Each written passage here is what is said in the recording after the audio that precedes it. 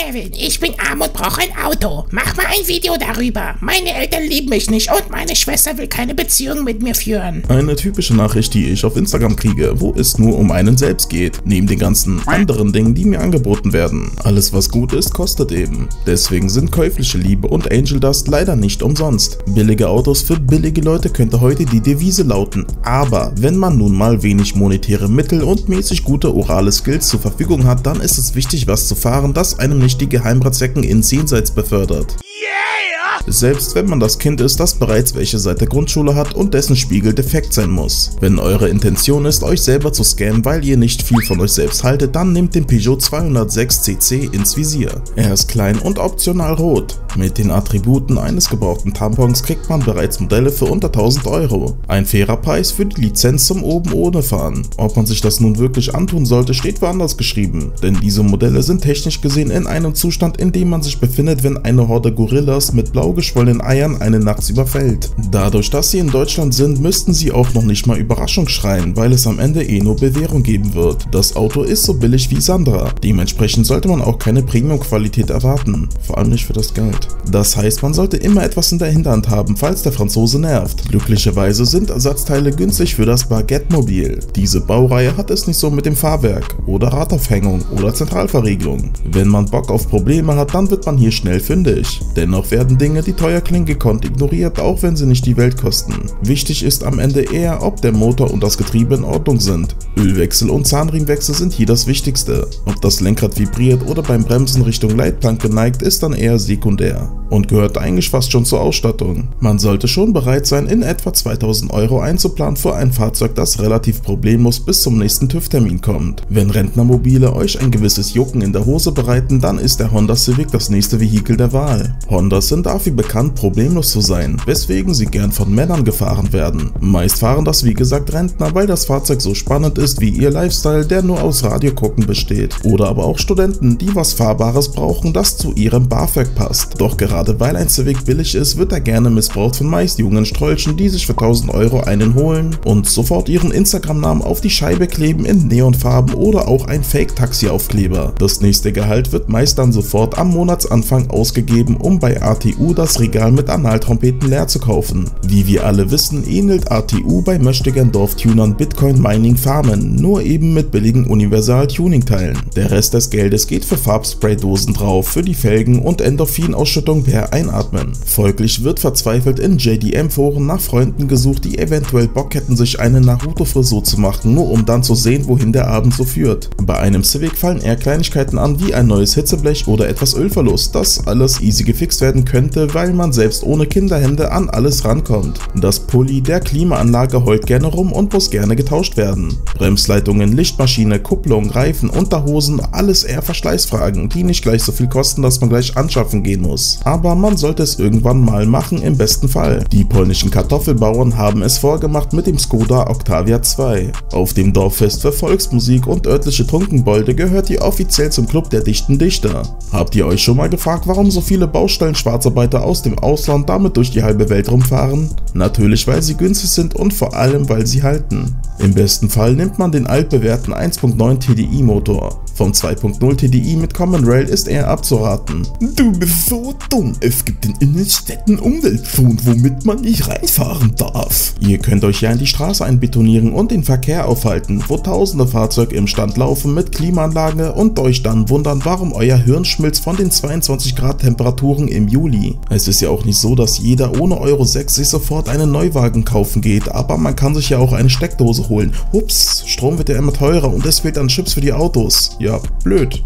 Beim Skoda Octavia 2 gibt es 27 Motorvarianten, zwischen denen man wählen kann. Wovon man sich allerdings fernhalten sollte bei den Benziner-Varianten ist der 1.2, 1.4 TSI, 1.8 und 2.0 TFSI sowie TSI.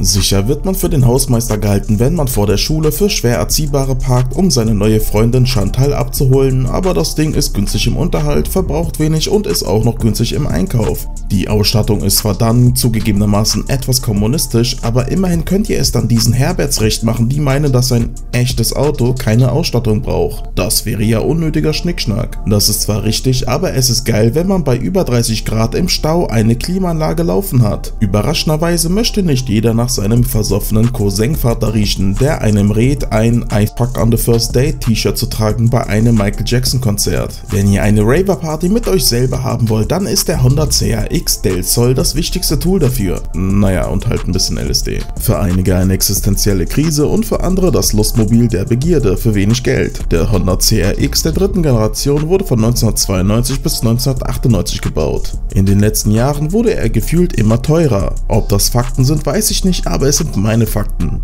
Das Coole am CRX ist, dass er ein Tager ist. Wenn ihr jetzt lacht, weil ihr an Tangas denkt, dann solltet ihr darauf achten, ob der Auspuff am Rosten ist. Motorantenne funktioniert, die Dichtungen am Dach keine Geräusche machen, Rost und ob der Zahnriemen gewechselt wurde. Wenn die Antwort vom Verkäufer ist, ja, kann sein, weiß nicht, lass uns einen durchziehen, dann wisst ihr, dass zu einer hohen Wahrscheinlichkeit irgendetwas nicht stimmt. Der Riemen sollte nach 100.000 Kilometer getauscht werden, beziehungsweise alle 5 Jahre. Bei unter 2000 Euro geht es zwar los, aber man hat in der Regel wenig, was man noch reinstecken muss. Je nachdem von welchem Kuhkaff ihr seid, ist das Reinstecken natürlich optional. Die 125 PS Variante muss hier allerdings reichen, um ihn mit euren Tränen zu betanken, weil die 160 PS VTEC Variante teurer in der Anschaffung ist. Die Dinger brauchen viel Drehzahl und sie sind dahingehend so teuer, weil die Besitzer meinen, dass es Frauen anlockt, dessen einzige Kompetenz ist, einen Schlitz zu haben. Wenn Monster Energy auch für euch ein Grundnahrungsmittel ist, dann...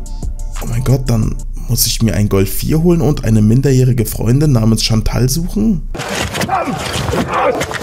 Naja, jedenfalls wenn ihr nicht Unfähigkeit heißt, dann ist der Golf 4 das To-Go. Ein Golf ist das Auto für das Volk. Ihn gibt es Millionen Mal auf der ganzen Welt und er wurde in China von 2006 bis 2008 als Bora HS verkauft. Somit stellt diese Generation des Golfes das mitten im Lebengesicht einiger Bewohner dieses Landes dar. In der zivilisierten Welt gab es den aber nur bis 2003, ausgenommen in der Kombi-Variante. Der 1.4 Benziner schluckt Öl und ist als Kolbenkipper bekannt. Daher wäre der 1.6 die bessere Wahl, nicht zu verwechseln mit dem 1.6 FSI. Hier ist deswegen davon abzuraten, weil das ein Direkteinspritzer ist und die Injektoren hier gerne Probleme machen, was aber bei allen Direkteinspritzsystemen der Fall ist und wenige Menschen das so wirklich auf dem Schirm haben, dass sie meist aufgrund von Verkokung kaputt gehen. Daher empfehlen sich Additive. Bei den Spritpreisen von 2 Euro Aral Ultimate lohnt sich das nicht besonders, es sei denn ihr seid wie ich in Polen, wo das 1,65 kostet aktuell. Den Golf 4 gibt es bereits ab unter 1000 Euro in nicht mehr ganz so Jungfernhäutchenmäßigen Zustand. Tut euch einen Gefallen und sucht ein Modell mit Klimaanlage und TÜV, der mindestens ein Jahr gültig ist. Niemand will euch im Sommer riechen müssen.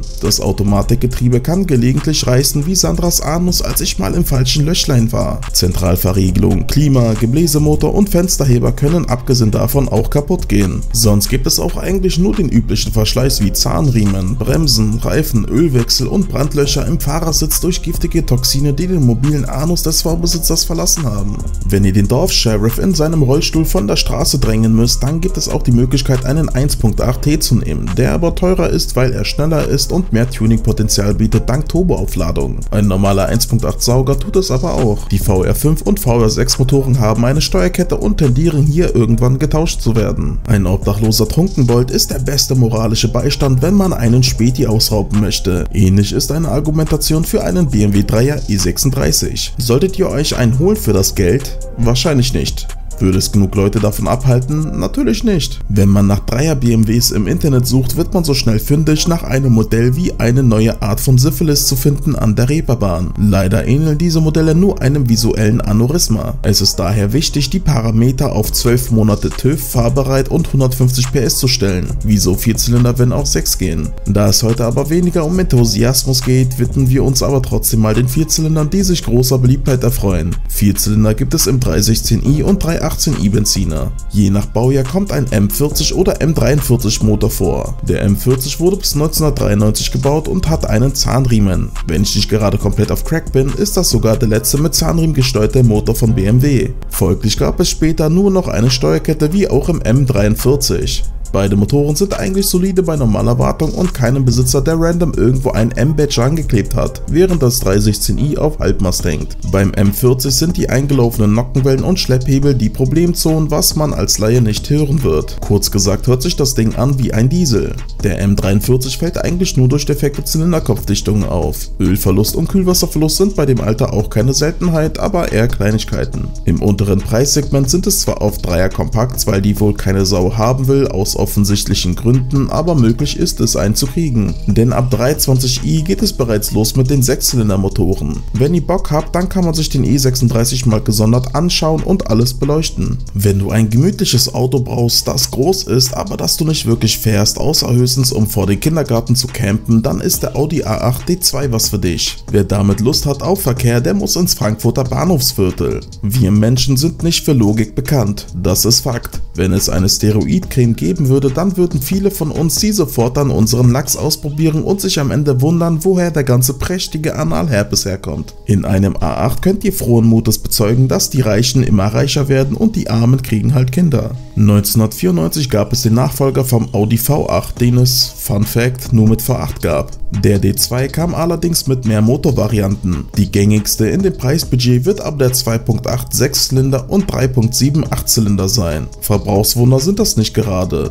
Daher macht das auch nur Sinn, wenn der einzige Stop-and-Go-Verkehr abends im Wohnwagen mit Herzenaufklebern stattfindet. Viele denken, dass man wie die eigene Ex-Freundin, in Klammern Sandra, alles reinbuttern muss, was es gibt, um den am Leben zu halten. Allerdings sind neben defekten Wasserpumpen, Kraftstoffpumpen, Lichtmaschinen und beim Sechszylinder noch zusätzlich Zylinderkopfdichtungen, Nockenwellenversteller und hoher Ölverlust sowie defekte ABS-Blöcke, Lenkgetriebe, Scheibenwischermotoren, Druckschläuche der Servolenkung, verstopfte Kondenswasserventile, Lüftermotoren und Zentralverriegelung problematisch. Abgesehen davon sind nicht wirklich viele nennenswerte Probleme vorhanden. Und wenn euch das immer noch zu teuer ist, dann geht es sogar noch eine Stufe weiter runter in der Hierarchie, so dass man auf der gleichen Stufe ist wie Yo Olli.